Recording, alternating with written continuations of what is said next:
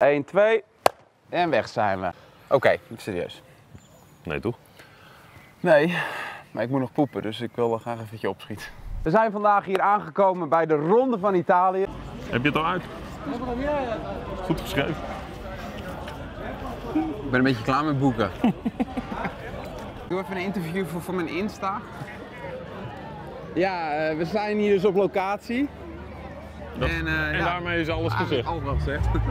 We zijn nu dus wel in een land waar geloven allemaal samenleven. Maar ik werk dus op zondag niet, hè? Wat- Wat is dat Martijn het aangegeven? Klopt. Puur omdat ik naar de kerk moet. Dat is morgen, hè, zondag. Ja, daarom. Het belooft een spektakelstuk te worden. Mijn koffie is op. Kunnen we? Ober,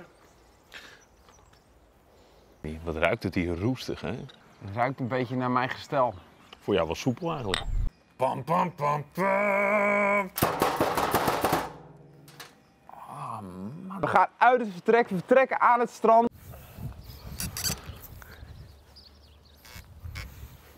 Hoeveel heb jij eigenlijk betaald om deze trip te maken?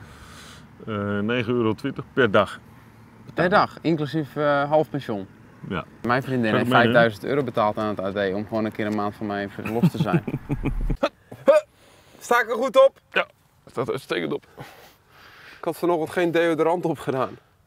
Zie je niks van. Hoe komt het dat je altijd een cappuccino en een espresso toppie op bestelt? Dat komt omdat ik voor het eerst in een aantal jaren een alarm moet zetten Aan het werk ben. en aan het werk ben. Hij kijkt naar me alsof hij er werkelijk een highlight show van gaat maken. Gaan we gelijk omhoog, een etappe voor Tim Wellens. Ochtendgymnastiek? Ik eh, heb ondertussen een blessure opgelopen met mijn, eh, met mijn eerste baan. Een maand lang autorijden en dit gammele lichaam begeeft het.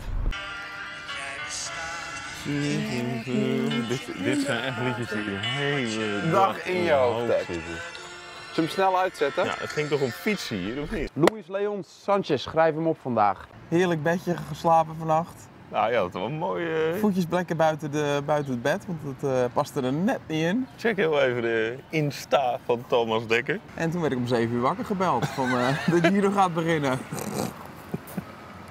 En toen kwam er een bus be- bejaarden met trolleys langs mijn, langs mijn deur. En toen werden ze het niet helemaal eens van hoe de dag ging ingedeeld worden. Ik was bijna, ik stond bijna buiten mijn deur en toen dacht ik, ja, ik heb geen onderbroek aan. Oh, er is geen woord aan gelogen. En we gaan nu over naar de studio. Lekker? Ik was even aan het oefenen.